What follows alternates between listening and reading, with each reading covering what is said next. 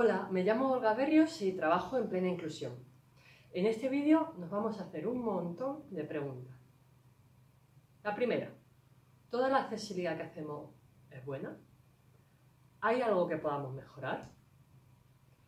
¿Hay algo que sea más importante hacer que otras cosas? ¿O deberíamos dejar de hacer algo y centrarnos en otras cosas? ¿La accesibilidad cambia tu vida? ¿Cambia la vida de las personas que la necesitan como las personas con discapacidad intelectual? ¿Lo que hacemos cambia el mundo? Antes de adaptar un libro o una ley, antes de elegir qué edificio evaluar o usar eh, o elegir una tecnología de apoyo, preguntamos a las personas si les interesa lo que vamos a hacer. ¿La accesibilidad es solo lectura fácil?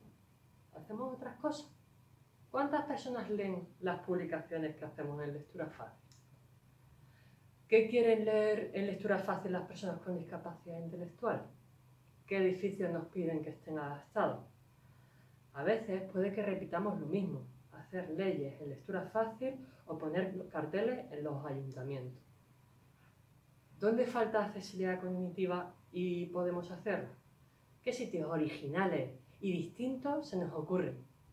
Por ejemplo, cómo hacer un espectáculo de magia fácil de entender.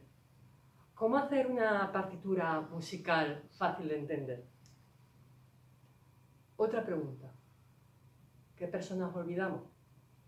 Quizás hacemos accesibilidad cognitiva para las personas que tienen más capacidades. ¿Nos acordamos de las personas con grandes necesidades de apoyo? Cuando piensas el plan de apoyo de una persona, ¿Tienes en cuenta la accesibilidad que necesita? ¿Incluyes un plan de comunicación? ¿Piensas herramientas para que se comunique? ¿Por dónde empezar? A veces muchas personas opinan que lo primero que debemos hacer accesible es nuestra propia organización.